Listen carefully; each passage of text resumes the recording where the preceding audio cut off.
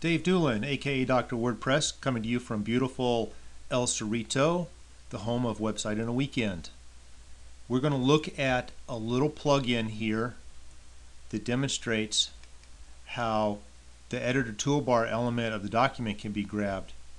What we're looking at is a two function plugin. We have one function for the init and another function for the demo and each of these functions is fired from a different source.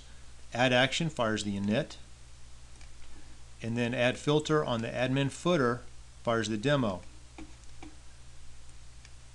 What we're doing is we're grabbing a piece of the document. We're going to grab the ed toolbar ID out of the document object model.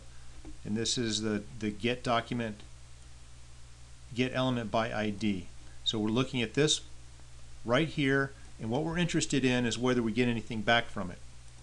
Now if we don't get anything back from it it'll come back null and it will fire this first trigger right here which is going to give us a JavaScript alert box that says null. If we get something back we'll get the not null. Alright, so this is this is the same piece of code in init as we have in demo. Identical code. Let's see how they work. Alright, so I'm in a post here, a new post, and I have, this is my toolbar right here. Uh, you can see from the uh, document model shown in Firebug in, a, the screenshot where the Ed Toolbar ID comes from. And now we're going to fire this thing off. Control F5, load it up. Okay, so there's the first call and there's the second call. So in the first one it was null, and the second one it was not null. Let's do that again. All right, so we're gonna we're gonna add action. It's gonna fire the init function first, and that piece of the document is null. There's nothing there.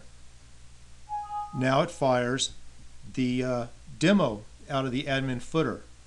In that function, the toolbar is returned, and we can add to it. That's all for now. This is Dr. WordPress, website in a weekend.